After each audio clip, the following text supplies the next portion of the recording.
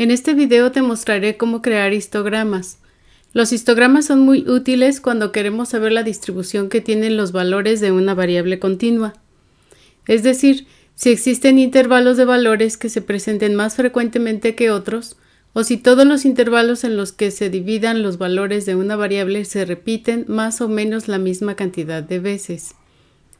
Comenzaremos creando un nuevo archivo de tipo RScript. Vamos a indicarle la carpeta en donde queremos trabajar. Leemos el archivo latinos.csv que creamos en el video filtros nr. Revisamos la información que contiene el objeto latinos. Vemos que la variable tiempo es una variable numérica.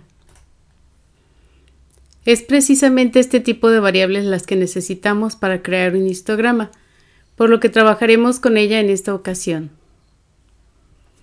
Para crear el histograma con gráficos básicos de R, aplicaremos la función hist a la columna tiempo del objeto latinos.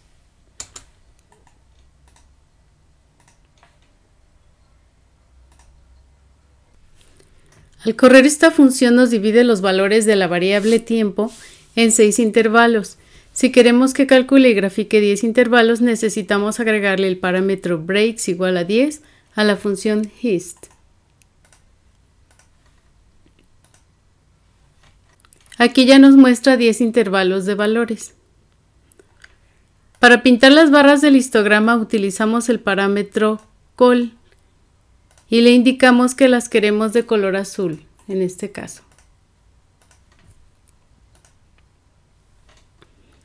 Otras modificaciones que le podemos hacer al histograma son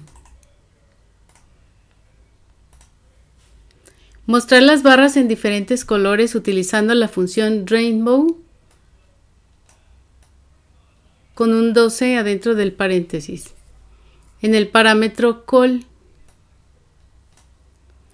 Cambiar el nombre del eje de las X y de las Y con, con los parámetros XLab y YLab respectivamente. Además de agregarle un título al histograma con el parámetro main. Vamos a correrlo. Y aquí ya cambian los colores de las barras del histograma.